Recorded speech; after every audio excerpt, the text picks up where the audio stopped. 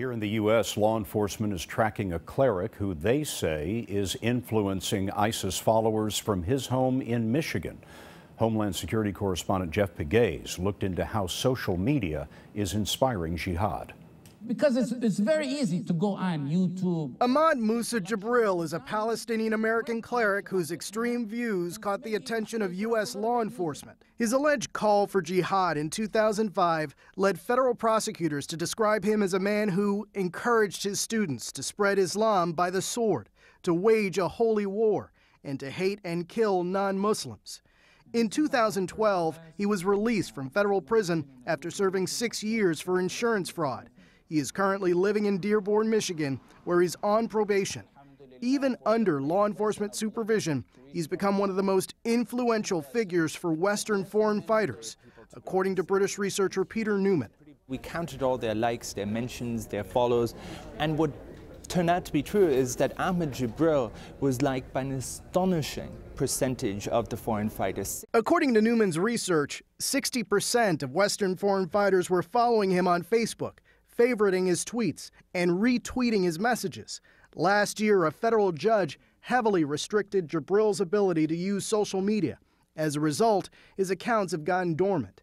And yet, his Facebook page has grown from 211,000 likes last year to 245,000 today. There were hundreds, and I'm going to say hundreds, maybe even over a thousand of messages I got through social media. Jibril declined our request for an interview. His probation ends in one month.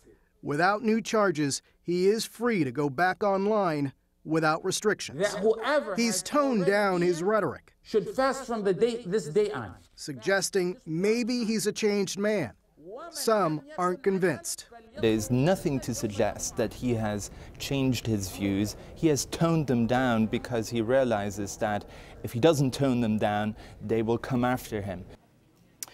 And this is the dilemma that law enforcement deals with every day in this country how best to identify potential threats who may mask their true intent. But, Scott, social media can also help law enforcement. It can give important clues about who and where extremists might be. Jeff, what are some of the things the FBI does to monitor these people that they don't have any reason to arrest? Well, Scott, in the early stages, it could be as simple as monitoring social media. Then it's something that could escalate to monitoring emails, texts, and phone conversations all of that under court orders. The FBI looks at hundreds of people who may have terrorist leanings and opens investigations into some of those cases. Now, the FBI director just yesterday confirmed that the Bureau has now opened investigations in all 50 states. But after Edward Snowden, there's been a lot of concern about government surveillance. I wonder what intelligence officials are saying for themselves.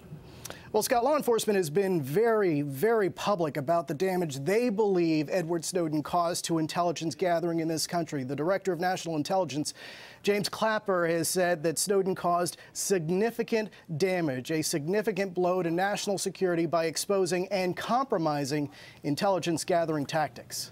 Jeff Pegues in the Washington newsroom tonight. Jeff, thanks very much.